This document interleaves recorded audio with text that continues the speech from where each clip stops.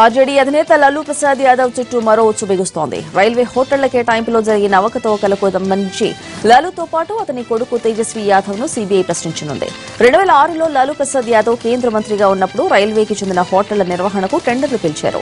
పూరి రాంచీలోని రైల్వేస్ హోటల్స్ను ప్రైవేటు వ్యక్తులకు అక్రమంగా కట్టబెట్టారని ఆరోపణలు వచ్చాయి. దీనిపై దర్యాప్తు చేపట్టిన సీబీఐ అధికారులు లాలూ ఇళ్ళలో పన్నెండు ప్రాంతాల్లో తనిఖీలు చేశారు. పలు కీలక పత్రాలు సీజ్ చేశారు. దీనిపై దర్యాప్తు ముమ్మరం చేసిన సీబీఐ అధికారులు ఈ నెల పదకొండున లాలు పన్నెండున తేజస్వి యాదవ్ విచారణకు హాజరు కావాలని ఆదేశించారు. కాసేపు షెల్టర్ ఇవ్వాలని బస్టాండ్ స్లాబ్ మృత్యువుగా మారింది. బస్సుల కోసం ఎదురు చూస్తున్న తొమ్మిది మంది ప్రాణాలను తీసేసింది.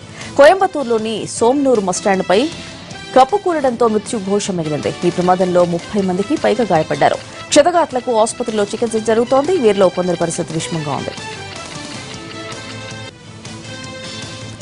ప్రముఖ జర్నలిస్ట్ గౌరీ లంకేష్ హత్య ఉదంతం మరవక ముందే బీహార్లో మరో దుర్ఘటన చోటు చేసుకుంది.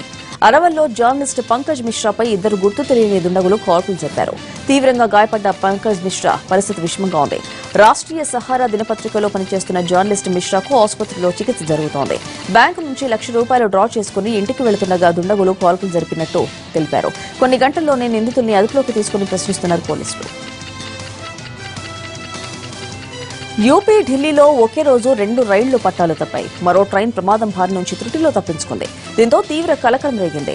అయితే ఈ ప్రమాదాల్లో ఎవరికీ ప్రాణ నష్టం జరగలేదు. దీంతో రైల్వే అధికారులు ఊపిరి పీల్చుకున్నారు.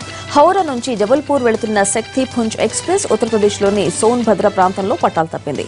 ఏడు బోగీలు పక్కకు ఒరిగిపోయాయి. ఇది జరిగిన కొన్ని గంటలకే ఢిల్లీలోని మింటో బ్రిడ్జ్ సమీపంలో రాజధాని ఎక్స్ప్రెస్ పట్టాలు తప్పింది. ఈ ప్రమాదంలోనూ ఎవరికీ ఏమీ కాలేదు. అంతలోనే యూపీలోని ఫరూఖాబాద్ ఫతేగఢ్ మధ్య రైలు పట్టాలు విరిగిపోవడాన్ని స్థానికులు గుర్తించారు. ఢిల్లీ నుంచి కాన్పూర్ వెళుతున్న కాళింది ఎక్స్ప్రెస్ ఆపేశారు. దీంతో ఘోర ప్రమాదం తప్పింది. చైనా మయన్మార్ పర్యటన ముగించుకొని స్వదేశం చేరుకున్నారు ప్రధాని మోడీ. పర్యటనలో భాగంగా బ్రిక్స్ సదస్సులో పాక్ ఉగ్ర సంస్థల ప్రస్తావన తెచ్చి చైనాను ఎరకాటంలోకి నెట్టిన మోడీ మయన్మార్తో సంబంధాన్ని మరింత బలోపేతం చేశారు. ష్వడ్గాన్ పఘోడాను సందర్శించి బోధి ముక్కను నాటారు.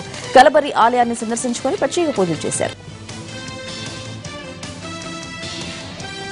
మూడు రోజులు వరుసగా పెరిగిన పసిడి ధర తగ్గుముఖం పట్టింది. పది గ్రాముల బంగారంపై నూట తొంభై రూపాయలు తగ్గి ముప్పై వేల మూడు వందల అరవైకి చేరింది. ఆభరణాల తయారీదారుల దగ్గర నుంచి కొనుగోళ్ళు మందగించడంతో పసిడి రేటు పడిపోయినట్లు బిలియన్ మార్కెట్ వర్గాలు వెల్లడించాయి వెండి ధర కిలోకు వంద రూపాయలు తగ్గి నలభై ఒక్క వేల తొమ్మిది వందల రూపాయలు పలికింది.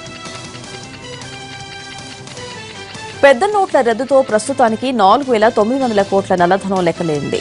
నోట్ల రద్దు తర్వాత నల్లధనం వెల్లడికి అవకాశం కల్పిస్తూ కేంద్రం ప్రవేశపెట్టిన ప్రధానమంత్రి గరీబ్ కళ్యాణ్ యోజన పథకం కింద ఇరవై ఒక్క వేల మంది వెల్లడించారు. మొత్తం నాలుగు వేల తొమ్మిది వందల కోట్లను నల్లధనంగా పేర్కొన్నారు. ఈ మొత్తంలో రెండు వేల నాలుగు వందల యాభై ఒక్క కోట్ల పన్ను కింద వసూలు చేసింది కేంద్రం.